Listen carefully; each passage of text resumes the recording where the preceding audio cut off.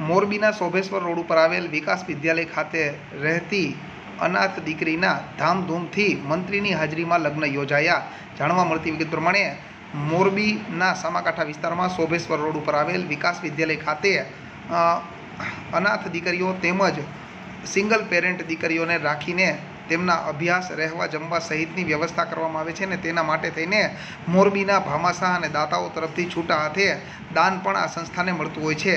અને આજે મોરબીના વિકાસ વિદ્યાલય ખાતે દીપાલી રામજીભાઈ પટેલ નામની અનાથ દીકરીના ધામધૂમથી મોરબી નજીકના મહેન્દ્રનગર ગામે રહેતા ધવલભાઈ નામના યુવાન સાથે લગ્ન કરાવવામાં આવ્યા હતા અને ત્યારે વાજતે ગાજતે જાન જ્યારે વિકાસ વિદ્યાલયના આંગણે આવી ત્યારે મંત્રી બ્રિજેશભાઈ મેરજા મોરબી જિલ્લા ભાજપના માજી પ્રમુખ રાઘવજીભાઈ ગડારા રામધન આશ્રમના મહંત ભાવેશ્વરી માતાજી સહિતના આગેવાનો, સંતો, મહંતો, વડીલો હાજર રહ્યા હતા અને દીકરીને આશીર્વાદ આપ્યા હતા.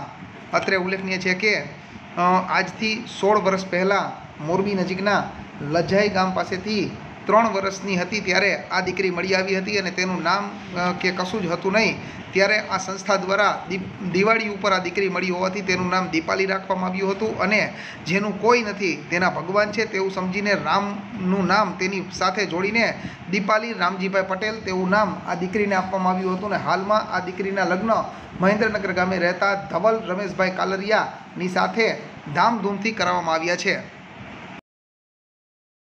નહોતું વિચાર્યું કે મારા લગ્ન આવા ધૂમધામથી થશે અને મારા લગ્નમાં બ્રિજેશ મેજ આવશે બધા મોટા વડીલોના આશીર્વાદ લઈને ખૂબ જીવનમાં આગળ વધું. અને આથી વર્ષ તેર વર્ષ પહેલાં ભરત ભરત સર નિમાવત અહીંયા જોબે ચડ્યા અને પછી અમને બધી છોકરીઓને આમ નવી નવી બધું હોસ્ટેલમાં નવું નવું આમ વસ્તુ લાવ્યા બધી આમ.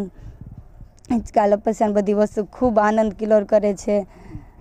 અને અમને બધાને પ્રવાસમાં બાર બાર અલગ અલગ જગ્યાએ લઈ જાય છે.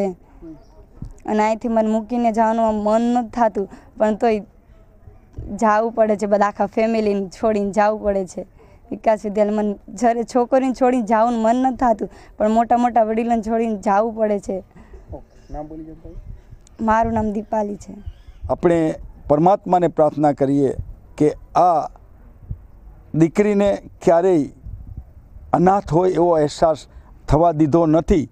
અને કુદરતે હવે જ્યારે એને નાથ આપ્યો છે, પતિ સ્વરૂપે, એ નાથ પણ એનું પૂરેપૂરું જતન કરે અને આ દીકરી આ આપણા આશ્રમમાંથી સેવેલા સંસ્કારને એક જેને કહીને કે ધવલના પરિવારની કુળદીપિકા બનીને ઉજાશે એવા આશીર્વાદ આપું છું. અને આ વિકાસ વિદ્યાલયના સૌ સંચાલકો છે, એને ખૂબ ખૂબ અભિનંદન આપું છું. અને ભરતભાઈ જે સંકલ્પ લેતા હોય છે એ પરમ કૃપાળી પરમાત્મા ચરિતાર્થ જ કરતા હોય છે અને આજે આ મોરબીમાં એક એક નવી જ જેને કહીએ કે સંવેદનશીલ આ એક તવારીખ મોરબીના ઇતિહાસમાં આલેખાયેલા છે. એનું મને મોરબીના ધારાસભ્ય તરીકે અને ગુજરાત સરકારના મંત્રી તરીકે ગૌરવ છે.